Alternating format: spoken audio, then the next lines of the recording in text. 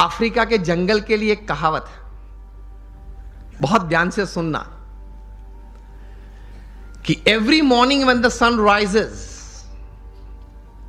in the jungles of Africa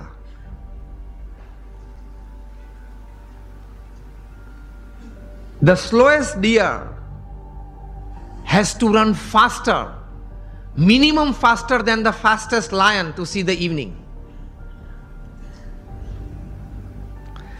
And the slowest lion has to run minimum faster than the slowest gazelle, that is deer, to see the evening. वरना वो भूखा मर जाएगा ये कहानी के बाद अंत में लिखते हैं सो whether you are the deer or the lion, every morning when the sun rises, you have to run. आप हिरण हैं या सिंह हैं मतलब शेर हैं आप हिरण है या शेर है? सुबह गिरी सूर्योदय हुआ दौड़ना तो पड़ता है।